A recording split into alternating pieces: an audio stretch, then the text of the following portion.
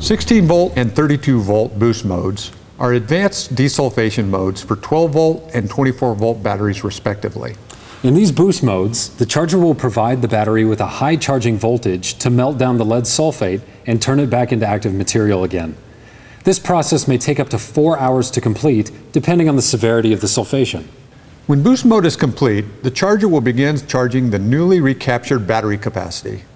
If the charger returns to standby mode, then that means it was unable to recapture any of the battery's lost capacity. To enter into boost mode, you will need to be connected to the battery, hold down the mode button for three seconds, and then select either 16 volt or 32 volt.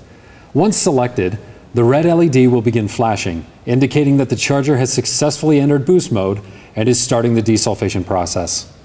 Learn more at geniuschargers.com.